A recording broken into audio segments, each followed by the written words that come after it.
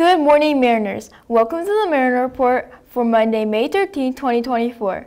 I am Charlotte Bauman, and we're here with Mr. Golias, who, because of the short advisory classes this week, is the whole show. Welcome, Mr. G. Thank you, Charlotte.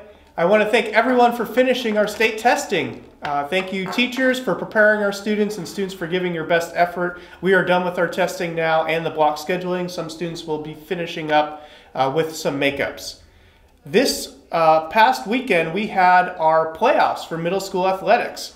Our girls flag football team finished number two in the regular season and took on the winner of Muirlands and Bethune. Our boys flag football team finished number five and they took on number 12 Language Academy. You'll have to log into the district's middle school athletics site and see what those results were. Also, our wrestling team is part of the Clairemont High School uh, team, which took on Kearny's team in the wrestling playoffs over the weekend.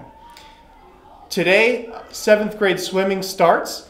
So uh, this will last for two weeks. Hope all our seventh graders enjoy uh, this unique experience. And we do want to thank you again for all the fundraising efforts, and especially Ms. Nixon for organizing this.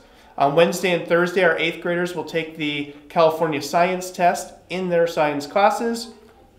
Also, Wednesday evening, first time ever, we're having college night where former Marston students are going to come to the library 6 p.m. and share about the courses they took at Clairemont High School and how that got them accepted into college. So they will share with you which courses they took and just great information of how we get accepted into college.